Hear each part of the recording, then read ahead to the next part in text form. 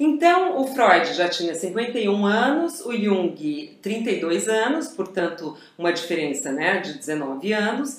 E é, começou, tudo começou quando Jung começou a se interessar pela doutrina freudiana.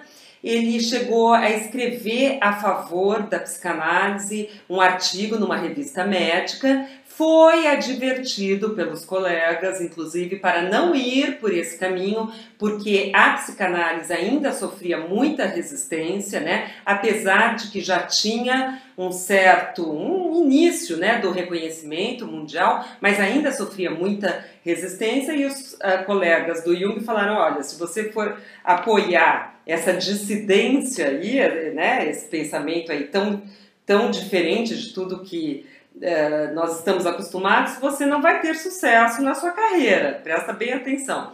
Mas o Jung, que nós vamos entender por várias razões do mapa dos dois, inclusive, continuou, ele estava muito interessado no trabalho do Freud e enviou para o Freud o seu primeiro livro, né, um estudo sobre associações. Isso foi em 1906. Em 1907, exatamente dia 27 de fevereiro, eles tiveram então o primeiro encontro deles, que durou nada mais, nada menos do que 13 horas ininterruptas, para a gente só tentar captar assim a intensidade de você conhecer, encontrar com uma pessoa que você só trocou algumas correspondências e você ficar conversando com ela então durante 13 horas, né?